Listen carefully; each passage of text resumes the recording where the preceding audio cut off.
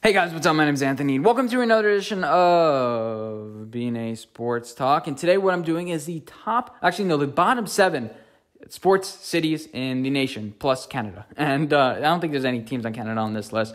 Uh, yeah, so if you didn't know, I did a top seven list of the top sports cities. So if you want to know who's on the list, is it uh, Tampa? Is Tampa with the Rays and the, and the Lightning number one? Who's number one?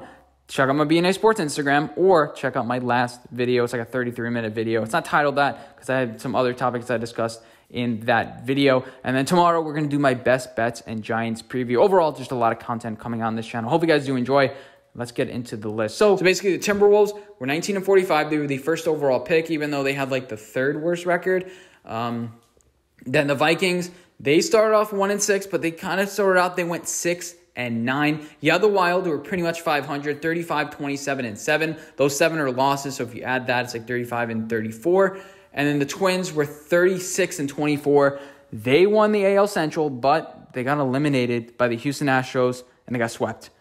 You can't do that. like that, that just can't happen. That, that can't happen. They're on my list. You have some impressive, uh, you know, by the Twins and the, the Wild, but the Wild didn't do that many. So Minnesota is six on my list. Number seven is Atlanta.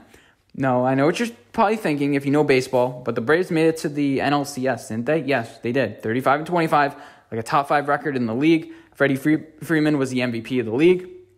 I'm taking a look at the Hawks. The Hawks have a bright future this year. Trae Young scored a gajillion points the other day, missed like two shots, and he took like he took a lot of shots. Not like he took like three shots, but he uh, he only missed two shots the entire night. Overall, just just playing wild, uh, for lack of a better term. If you like that Minnesota pun, but uh, anyway, Atlanta uh, they also have the Falcons, who went seven and nine last year, but are going to be four and eleven after tomorrow. This may be a cold take if they end up upsetting the Chiefs, but they're eleven point underdogs. I think it's fairly safe. I guess nothing's safe this year, but Falcons overall just they fired their general manager Matt Ryan. You see the guy kind of in shambles. I said at the beginning of the year they're gonna they're gonna tank. They're gonna suck. They're gonna be four and twelve, or they're gonna be ten and six. A lot of people were picking them seven and nine. I'm like are they, are they really going to finish seven and nine again? Another season like the, the Tennessee Titans. So it's a, it's a give or take year, and they they they took or they gave. I'm not sure how quite that works. Uh, next on my list is Cleveland. Now Cleveland uh, with the Browns, they were six and ten last year, improved this year. They're probably going to be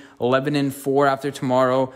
They don't have wide receivers, so I guess they may be ten and five, but it's still fairly impressive. That's more wins than they've had in uh, the since like 2002 or something like that. Uh, but they uh, Cleveland also has the Cavaliers, who are perennially bad. They went 19 and 46. They were second worst team in the league, and they didn't even get a good draft pick out of it. I don't think they were. They picked like sixth or seventh, whatever it was.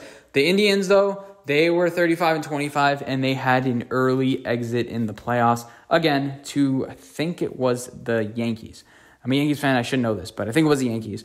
Uh, they finished second or third in their division, but it, that division is just bad at the bottom. Like, can you just stop beating up on bad teams? like, they, they faced the Pirates, and their schedule was fairly easy. It was one of the easiest in the league, so they didn't really have to do much. And it's, it's still 35 and 25. If you picture the NFL, you know, I don't want to do the math. like, I guess we'll divide it by four. That's that's pretty much like a 9 and 17. So it's, it's not that great.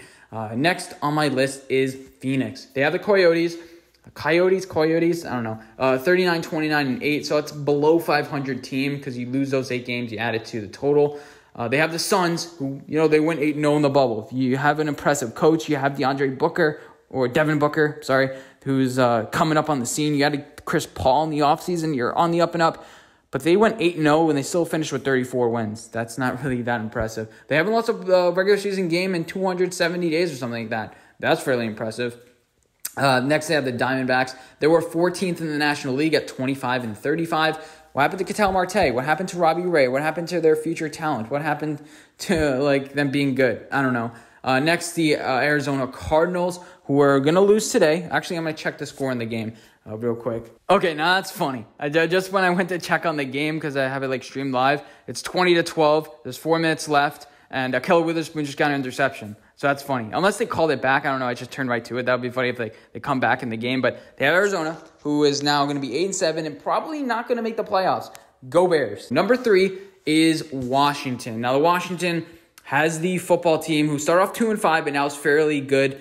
They're uh, six and nine. Probably lose tomorrow, six and ten. So you could say not really that good of a season or they're going to be 6 and 9 after tomorrow. They have the Capitals went 20, uh, 41, 20, and 8, 50 in the NHL, but they lost to, I think, the, the Islanders in the playoffs.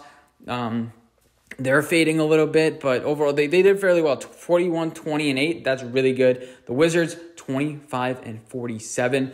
That's a middling team. And Washington finished last in the NL East after winning the World Series. They I think they might have been top three, four, Washington in my list last year because they had the Capitals and Nationals, but they're not any good this year. 26 and 34. Yikes.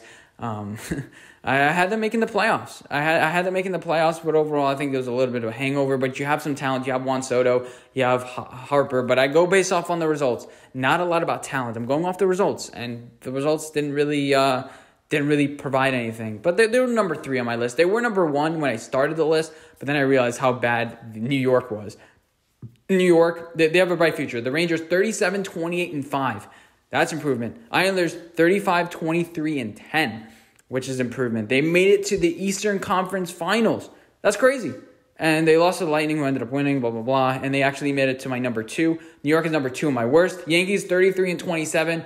They underperformed. They were injured the entire year. They lost in the second round of the playoffs. You also had the Mets 26 and 34. Steve Cohen playing fairly well, but just decimated with injuries. The whole Marcus Stroman thing. Robinson Cano played well, but then he's on steroids, so I'm that's why I'm demoting him. Like he was on steroids. He was playing well, but he's on steroids. But you have some bright spots. Pete Alonso, we get it. Ramos, whatever, blah blah blah. But they're not a good team. Jeff McNeil, I think, took a little bit of step back last year. I don't quite remember. But then the Nets. Um, this is based off on last year, not this year. The Nets are probably going to be a top three seed. Calm down, Nets fans. 35 and 37 last year, got eliminated by the Raptors. It made it kind of close, had the biggest upset in NBA history almost. They were 19 point underdogs against Bucks and won outright. The Knicks 21 and 45 have Tom Thibodeau, but they don't really have a solid core players. They don't have that guy who's just like we can build around him. Hopefully RJ Barrett is. He's shown signs of that. We've shown a little bit of signs. Can we package that? I feel like the talent we have now, we have to package that for a player almost. Are, are these guys going to be able to do it? It feels like the LeBron James of the world end up winning the the title no matter what. Even like Jimmy Butler, do you have to have a guy like that. It doesn't feel like we have that. Giants started off one and six. Last year they were four and twelve, but now they're five and nine. Hopefully six and nine after tomorrow. The Jets start off 0 and 13. Now they're one and 13, looking to go two and 13. Hopefully they, they could beat the Browns tomorrow. Not hopefully, I don't know, but uh, they'll still get uh, the number two pick overall because the Bengals decided to win against the Steelers. But overall, you see the future. You see the future with New York. Last year, I think they were number one on my list. They might have been number two, but they, they've been bad. But you can see things starting to turn around. Hopefully, things turn around. This is New York. We have the money. Spend it. Especially the Yankees. Spend it. Um, I don't care about Corona, Verona, anything like that. And number one, of course, it is Detroit. Now, let, let's uh, let's uh, do they have do they have a good team? Last year the Lions 3 12 and 1. This year they start off 3 and 3, but ever since 2 and 10 since then, or 2 what I, don't know, I don't want I don't feel like doing the math, but they've been bad. They've been bad. Fired their head coach. Their defense has been playing even with Matthew Stafford injury. Just overall, you don't really see the talent of this team. You don't really see the room going forward. They're gonna have to. Like Romeo Okwara done. Trey Flowers because he's old and slow. Um, and then their linebacker for Jarrad Davis not good. then their the Jeff Okudah is not good. Like, do they really have anything here? And then Kenny Golladay is a free agent. You really think he's gonna come back? Overall, just reboot, reboot, reboot, reboot. Franchise top five pick. Um, I think just trade down, strip down the entire franchise naked, and restart again. The Pistons, 20 and 46. All you have is Blake Griffin, fifth worst record last year. Not going to be any better this year. Whole just drama. Next, the Tigers. Hey, the Tigers were the bright spot in Detroit this year. They, I have them 23 and 35, but I feel like they've been 25 and 35. But overall, they, they, they were challenging the Yankees for a couple weeks. Like, oh, maybe the Yankees could be challenged by Detroit. Then the Yankees ended up finishing like eight games better and uh, yeah, they, they're complete rebuilds. Miguel Cabrera, I don't know what you're doing. They got rid of Nick, the, Nick Castellanos. Matt Boyd is, I guess, a decent pitcher, but he always has like around a four ERA. I don't really see much with this team. You know, Detroit fans, probably, they definitely know more than me, but they're, they're, they're at the bottom right now. The Red Wings, this is the icer, icing on the cake. They went 17, 49, and 5 this year. They were the worst team by a lot. 17 wins out of the entire season. Uh, they went set, basically virtually 17 and 54, which is bad. And you don't need to be a hockey fan to know. And they end up getting the fourth overall pick and missing out on the number one pick. And who then who got the number one pick? the New York Rangers. Yeah. The bold pro prediction: the Yankees are going to be top three. I make the list, so I can just include it anyway, and I'll be right. But the the, the Yankees may be top three, or the New York may be top three next year, based on all these teams. Nets, uh, Knicks not being horrible. But I'm looking forward to it. Uh, did I miss anybody on this list? Is there a city that I didn't include? Uh, a random city in England? No, I, am not including those. But you know, is there a city that you feel like was snubbed? Do you are you like Anthony? Atlanta probably doesn't belong on this list. But I hope you guys enjoy this video. Let me know what you guys think, and I'll see you guys in my next one. Bye, guys.